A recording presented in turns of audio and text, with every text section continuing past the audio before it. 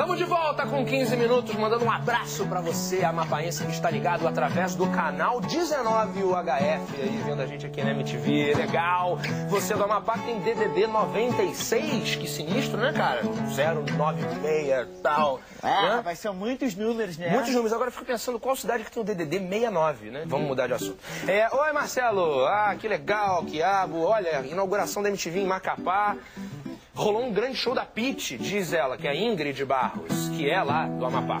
É um show da Pete, inauguração. Gostaria de fazer um desafio, fizesse uma música sobre o nosso estado do Amapá, falando das coisas que é de bom desse estado que poucos conhecem. Inclusive eu, Marcelo Adnet, não conheço quase nada do Amapá. E muitos acham que não existe no mapa do Brasil. Claro que existe, então, já que a Pete fez o show, vamos uma coisa meio Pete aí nesse clima aí. Vai lá. Fala do Amapá.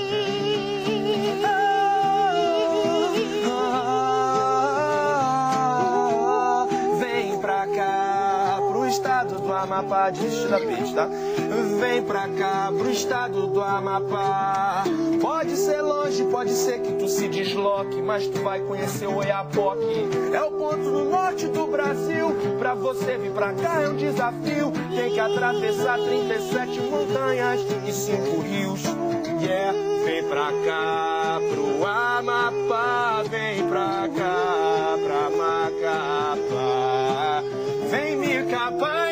Macapá, pra ser capaz em Macaé de Macapá. Em Macapá, vem, pode ser longe, mas vem, se desloca. Vem pegar o mal da na pororoca, o encontro do rio e do mar pra você surfar. Amapá, AAP, tem MTV. Amapá, Jorge Benjor, AP, tem MTV. Swing. Amapá, AP, tem MTV. A gente se emociona, a gente se comove. O HF19, o HF19. O DJ Índio mandou avisar. Te assistir, pode te assistir lá na capital. O quê? Macapá, só para contrariar. O índio mandou vai chegar por lá. O Bento e a Dani também, o Correria do Mion e a notícia do café. E o acesso dos irmãos do João Gordo também. E o ponto B da Penélope na rua. E o Rock Go também vai para aí. Todo mundo vai te assistir. E pro DJ que eu não citei, tipo a Marimu, fica aqui um abraço. E um muito obrigado.